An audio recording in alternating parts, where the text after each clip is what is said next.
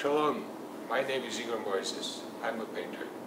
I invite you to join me on the painting tour of Israel. Please take a look and find us on the website.